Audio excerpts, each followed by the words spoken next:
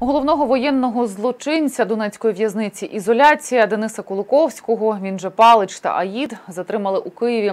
Про це на своїй сторінці у Фейсбуку написав журналіст Станіслав Асєєв, який пробув в ізоляції 28 місяців. Операцію провело головне слідче управління національної поліції під керівництвом заступника начальника Сергія Пантілєєва. Як розповідають колишні в'язні ізоляції, бойовики викрадають, б'ють та з особливою жорстокістю катують людей, яких підозрюють у нелояльності до окупаційної влади чи шпигунстві на користь України. Не раз бранці в'язниці окупантів, не витримуючи нелюдських знущань, намагалися покінчити життя самогубством. Станіслав Асєєв згадує, одного з його співкамерників катували з місяць.